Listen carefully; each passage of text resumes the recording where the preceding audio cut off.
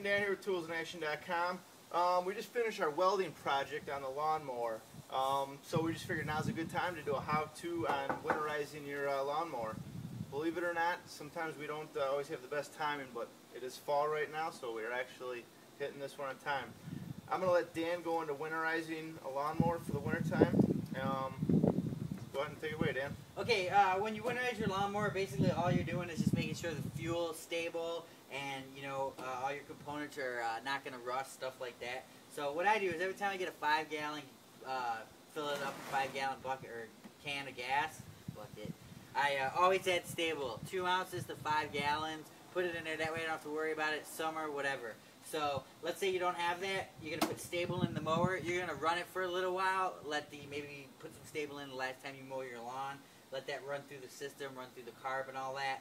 Then you're gonna go to like a Walmart or local marina and get this thing called fogging oil.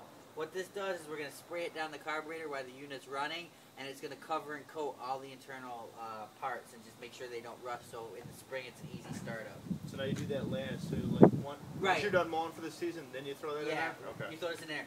Uh, there's a couple ways you can fog. When you're fogging, you'll see some smoke come out. That's good. Shut it off there. A lot of times you'll spray too much and it'll just shut it down. That's okay too. Um, so what we're gonna do is we've already had this one running. So basically, all you do is uh, pull the air box, pull out the filter, and as it's running, we're gonna spray it. Uh, a couple other things to do, which is good. A lot of people like to change their oil at this time and spark plug. Um, I do mine in the spring. You know, it just depends. You know, it's an argument. Some people are like, you know, oh, you got old oil in there all winter, or you know, whatever. Yeah. It doesn't matter. I like to do it in the spring. So we'll go ahead. We're all stabled up. We're ready to go. We're gonna have Eric pull a starter here, and then we'll show you how it fog. So. Another thing you might want to do too is clean, clean your lawnmower for wintertime. Get all the grass on there so you don't have any moisture sitting underneath the deck to rust the deck too. Yeah, and that's why we actually just fixed this mower because the deck was rusting. This was, what was it, 1988? Yeah, thank This you. is Eric's mower from 1988 and it still There, runs. it still runs. And we're going to start it? Go ahead and start it.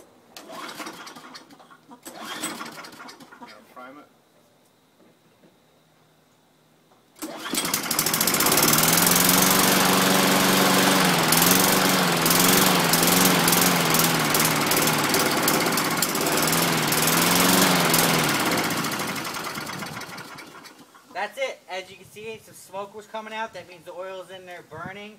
Um, you don't really have to flood it. Like I said, a lot of people just spray until the engine stops.